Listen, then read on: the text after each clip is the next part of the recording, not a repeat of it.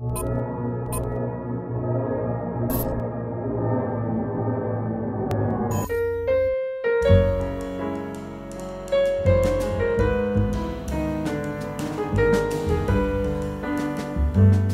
muy contento de participar en este festival eh, de música contra el olvido y voy a aprovechar para tocar una selección de lo más destacado de mi discografía.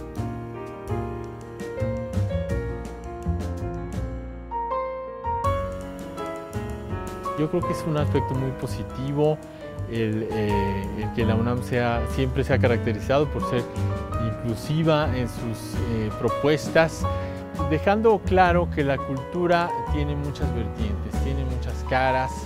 está la cara popular, la cara eh, folclórica, la música que representa nuestras raíces y también la música vanguardista, clásica, contemporánea, dentro de la cual entra el jazz.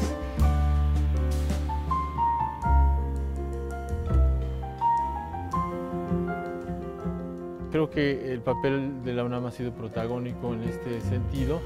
y nosotros los, jazzistas estamos muy agradecidos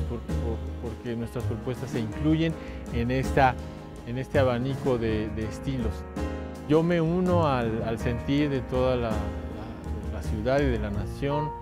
eh, este, este sentir de nostalgia. Lo voy a tratar de expresar hoy eh, con mi música porque el jazz eh, se trata de expresar lo que estamos sintiendo en el momento presente de la manera más honesta posible. Quiero dedicar este concierto a,